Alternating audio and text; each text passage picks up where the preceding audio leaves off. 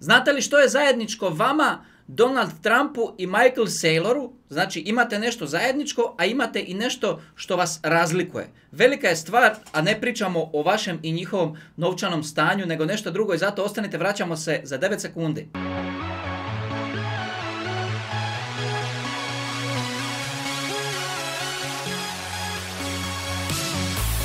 Veliki pozdrav svima, dobrodošli na kanal Kripto teme. Danas ćemo kratko, danas ćemo samo jedno moje vlastito mišljenje, naravno jer ništa ovdje nije financijski niti kripto savjet. Već se neki sprdaju sa mnom kao ništa ovdje nije financijski ili kripto savjet, međutim zaista nije, nije samo pričam jedno svoje putovanje, jednu svoju priču. Šta ćete vi od svog života i vaših investicija i vašeg putovanja u ovom svijetu, zaista je samo na vama. Vi morate donositi vaše odluke. E, veliki broj investitora u kriptovalute, ima ih zaista puno, niste svjesni koliko ih je, preko 550 milijuna, od toga imamo otprilike 300 milijuna investitora u kriptovalute koji nemaju jedan jedini dolar u Bitcoinu.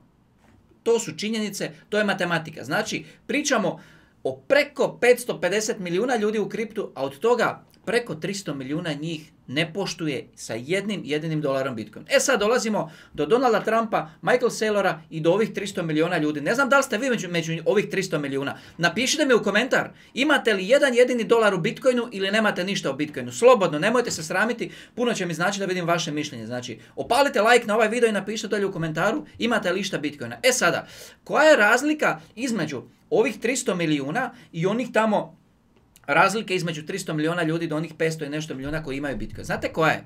Najbolji primjer je Michael Saylor, prvo ćemo krenuti s njim. On je bio veliki protivnik Bitcoina. Ne znam da li vi znate taj podatak. On se ismijavao javno na društvenim mrežama sa Bitcoinom.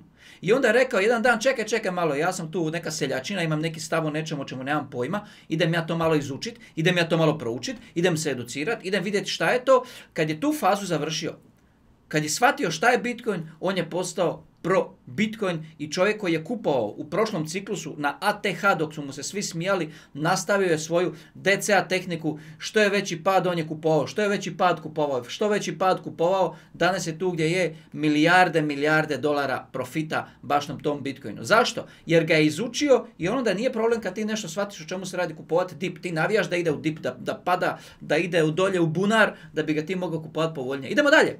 Donald Trump. Da li znate Jučer smo gledali govor Donald Trumpa, sve što je rekao o Bitcoinu, sve što je rekao o tehnologiji, sve što je rekao o budućnosti, sve što je rekao o tome kako će se on postaviti prema Bitcoinu i cijeloj industriji ako pobjedi, sve vam je jasno. Međutim, isti taj Donald Trump prije par godina i on je ismijavao Bitcoin i on je ismijavao tehnologiju.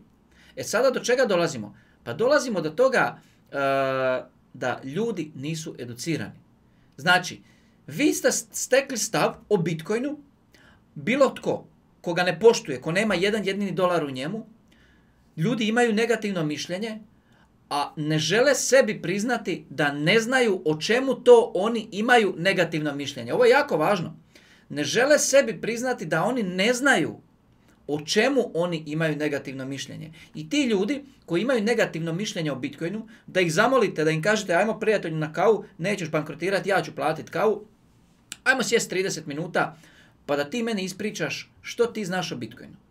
Što je Bitcoin, kako je nastao, kako funkcionira. Daj mi, reci mi nešto o toj tehnologiji, malo mi pričaj o novcu, malo, pa čisto da vidim, zanima me zašto si ti protiv Bitcoina, moraš imati neki argument, a da bi imao argument, to nije uh, neke medijske priče, neke onako navijačke fore, ovi igraju dobro, ovi igraju loše, pa navijači na tribinama se prepiru. Ne, ne, ajmo pričati sa stručnog, sa stručnog stajališta. Da vidimo, kad si već protiv Bitcoina, šta ti znaš o Bitcoinu? I onda shvatite da ti ljudi ne znaju apsolutno ništa. I zato, tanka je granica između uh, da hejtaš Bitcoin i da postaneš Bitcoin pro.